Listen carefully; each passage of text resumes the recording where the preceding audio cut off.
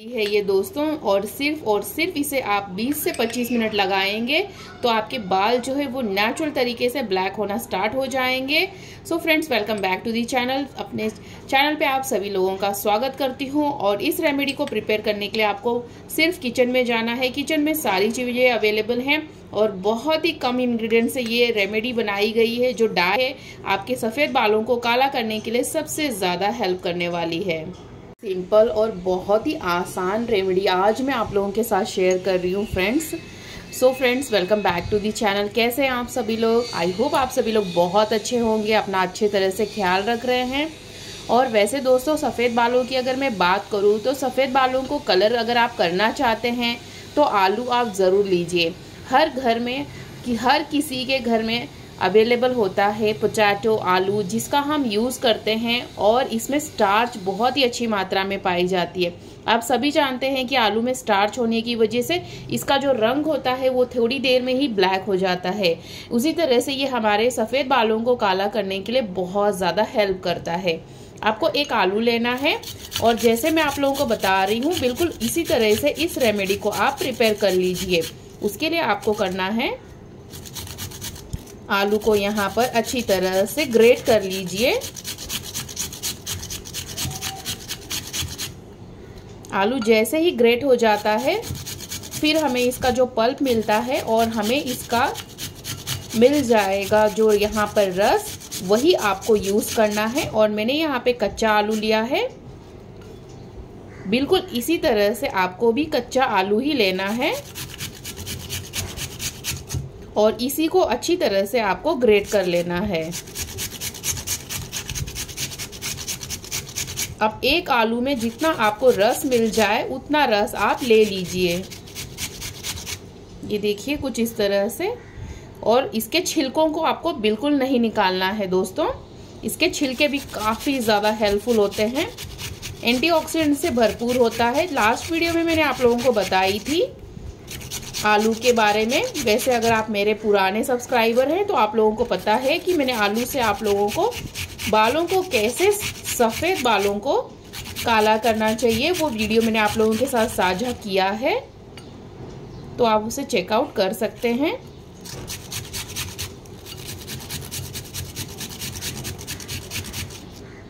तो अच्छी तरह से इसे आपको ग्रेड कर लेना है।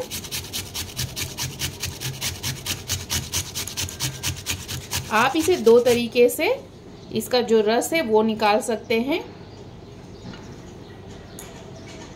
ये देखिए, एक आलू पूरा हमने ग्रेट कर लिया है।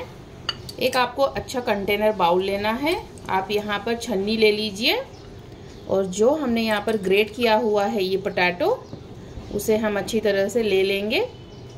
आप इसे मलमल के कपड़े से भी निकाल सकते हैं, या फिर इसे दबाकर चम्मच की हेल्प से भी आप इसका जो रस है, वो भी निकाल सकती हैं।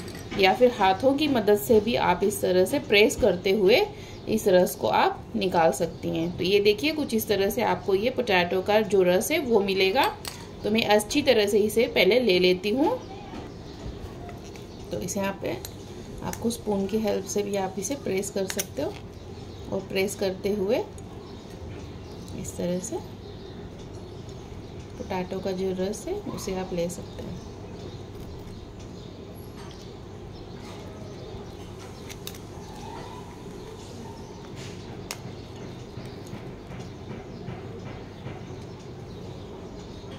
तो ये हमें जो रस है, ये मिल चुका है एक पूरा पोटैटो से। ये देखिए।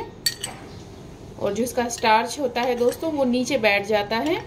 अगर आप इसे रूम टेम्परेचर पे इसी तरह से छोड़ देंगी तो ये कुछ ही टाइम पे बहुत ही अच्छे से पूरा ब्लैक हो जाएगा।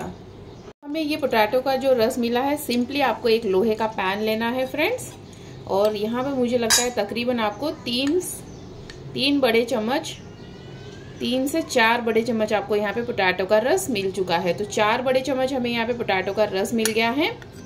ये देखिए, और हम इसे लोहे के पैन में इस तरह से डाल देंगे, और इसके बाद इसे हल्का सा हम बॉईल करने के लिए रख देंगे।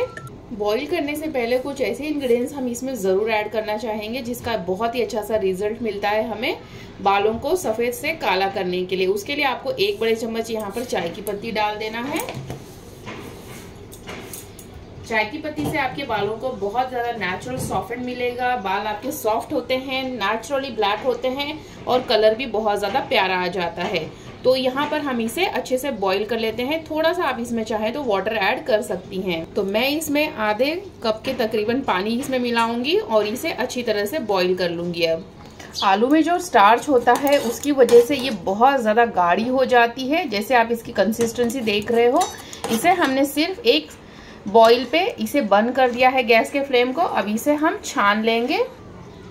उसी बोल में मैं इस तरह से इस पेस्ट को मैं ले रही हूँ और इसे अच्छी तरह से मैं स्टेन आउट कर लूँगी। आप देख सकते हो, बहुत ही प्यारा सा कलर आलू का कलर तो आपको देखने के लिए मिल ही रहा होगा। ये जो ब्लैक ब्लैक दिख रहा है ये बिल्कुल आलू का ही स्टार्च है, उसी का कलर है। और ये एक नेचुरल आपका जो है वो डाई प्रिपेयर हो जाता है फ्रेंड्स आपको इसमें कोई भी केमिकल वगैरह मिलाने की कभी ज़रूरत नहीं पड़ेगी। और ये नेचुरली इस तरह से आप अपने बालों पे इसका एप्लीकेशन करेंगे तो बहुत ही अच्छी तरह से इसकी थिकनेस की वजह से इसका जो कंसिस्टेंसी है, बिल्कुल इसी तरह से इसे प्रिपेयर करके अपने सफ़ेद बालों पे आप लगाना स्टार्ट कर दीजिए। जिससे कि आपके बाल काले घने होंगे। और लंबे भी होंगे। शादी पार्टी या फ़ंक्शन में कहीं जाना चाहते हैं तो जस्ट आपको इस आलू से बने हुए डाई को प्रिपेयर करके अपने सफ़ेद बालों पे लगाना है, जिससे कि आप अपने बालों को नेचुरल तरीके से ब्लैक कर सकते हैं within a second I hope दोस्तों मेरी वीडियो आप लोगों के लिए बहुत ज़्यादा हेल्पफुल रही होगी। प्लीज़ डू सब्सक्राइब लाइक ज़रूर करिएगा शेयर करिएगा इस यूज़फुल वीडियो को ज़्यादा से ज़्यादा ताकि बाकी के लोग इसका बेनिफिट ले सकें। और ये देखिए, बहुत ही अमेजिंग सी हमारी जो नेचुरल डाई प्रिपेयर हुई है। बहुत ही अमेजिंगली ये रिज़ल्ट ओरिएंटेड है। आप लोगों को कैसी लगी ज़रूर बताइए। यहाँ तक पहुँच गए तो प्लीज़ डू सब्सक्राइब लाइक ज़रूर करिएगा शेयर करिए इस यूज़फुल वीडियो को ज़्यादा से ज़्यादा अपने फ्रेंड्स एंड रिलेटिव के साथ ताकि उन्हें भी इसका बेनिफिट मिल सके। मिलती मैं आपको नेक्स्ट वीडियो में, तब तक अपना ख्याल रखें। Bye bye have nice day have a great day